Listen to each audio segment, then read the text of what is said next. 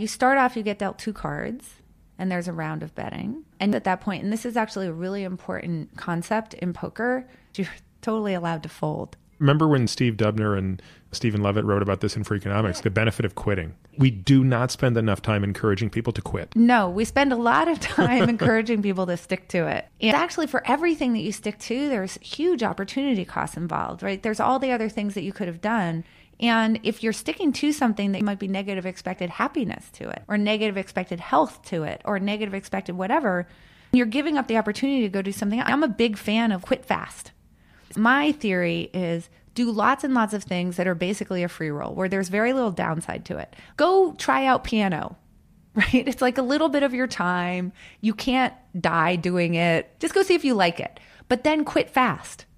Just quit fast and move on to something else. And then if you find out, oh, I really love this, I really want to spend my time do it, now stick to it.